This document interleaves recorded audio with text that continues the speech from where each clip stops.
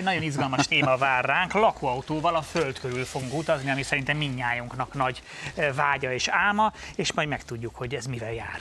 Igen, én még nem bírtam eldönteni, hogy a minnyájunk közé tartozom-e, de most hát, ha most lesz az a pillanat, amikor meggyőződöm erről. Hát szerintem, ha valaki, akkor Lázsádi László, lakóautó szakértő meg fog tudni győzni minket erről, hogy érdemes-e belevágni. Érdemes belevágni lakóautózásba?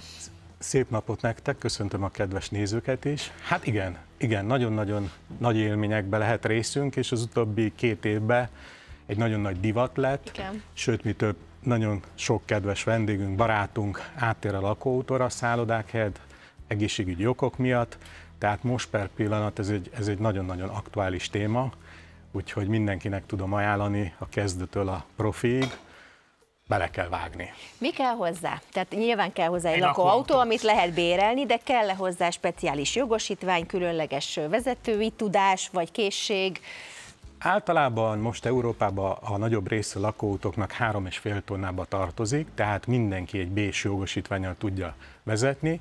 A bérbeadó cégek azt kérik, hogy legalább két év tapasztalata legyen annak a az úriembernek vagy hölgynek, aki az autót fogja bérelni, és különlegesen semmi más tudás nem kell. Nyilvánvaló, itt méretekről van Igen. szó, tehát a nagyobb méreteknél azért nem árt, hogyha az ember figyelmesebb és van egy kis szakmai tapasztalat a nagyobb autók vezetésébe, tehát körülbelül ennyi, tehát nincsen nekem a, sóg, a sógoroméknak van egy saját lakóautó, és nekik az, az autójuk, tehát ők Münchenben élnek, és ők azzal járnak bevásárolni, mindent azzal de, csinálnak. De ez mekkora, most mit képzeljek el? Nagy, egy viszonylag nagy lakóautó, hát csak ennyi, ennyire nyilván már nagyon nagy rutinja van a vezetésben, uh-huh. de hogy akár ezt is, tehát hogy ezekkel az autókkal azért majd, hogy nem ugyanolyan módon tudunk közlekedni, hogyha már megszoktuk, mint egy sima személyautó. Én az úgy látom magam előtt, hogy egy szerpentinen próbálok lavírozni egy hát, ilyen lakóautóval. Arra nagyon ügyelni kell, ez, ez, ez így igaz, tehát Isten igazából több mint 15 éve lakóutozunk a feleségemmel, a sportból jött, mi sporttal is foglalkozunk, és kitaláltuk, hogy az egészséges életmódhoz nagyon fontos lenne az, hogy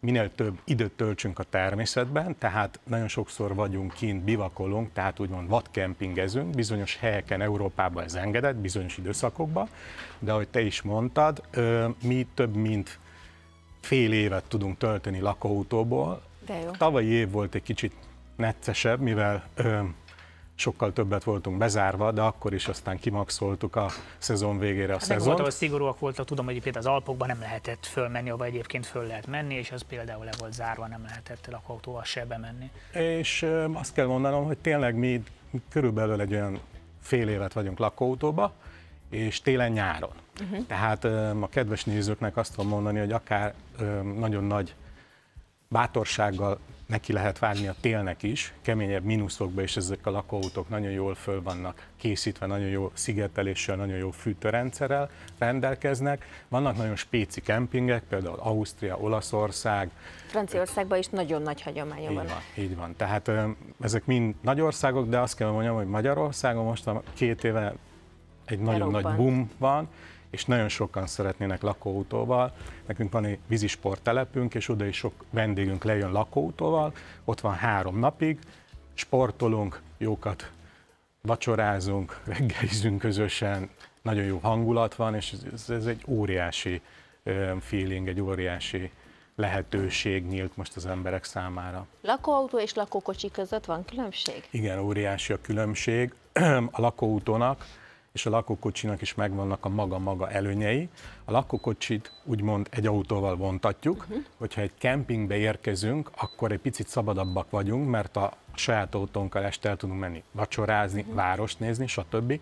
A lakóautók úgymond a nagyságuktól függően egy kicsit tudnak ebbe blokkolni minket, de viszont a lakóútonak a nagyobb előnye az, hogy mondjuk egy parkolóba meg tudok állni egy nagyobb városban mondjuk, sokkal könnyebben tudunk bivakolni tengerpartokon, mert kisebbek, sokkal jobb, uh-huh. szűkösebb helyekre, el tudunk menni bringázni bizonyos erdőrészekre, ahol a nagyobb lakóautók valószínűleg, ahogy a kedves rokonod is használja, azokkal már nem lehet. És mi a helyzet a bivakolással, tehát hogy mennyire lehet, mennyire lehet úgy megállni valahol egy lakóautóval, hogy az ember csak megáll és, és megszáll, mert azért tudom, hogy vannak olyan helyek, ahol ezt, ezt, ezt, ezt tiltják és nem lehet. De Magyarországon hivatalosan nem lehet, de hogyha az ember óvatosan csinál ezeket a dolgokat, és kisebb típusú lakóautókkal van, közelebb mondjuk egy, egy, egy, egy étteremhez mondjuk megállnak, és akkor éjszaka ott, ott alszanak, abból nem, abból nem szokott gond lenni. Nyilvánvaló, hogyha az ember elkezd kempingezni azokon a helyeken, ahol kiteszi majd a kempingszékét, vagy esetleg elkezdenek grillezni, vagy valami, az már zavarna.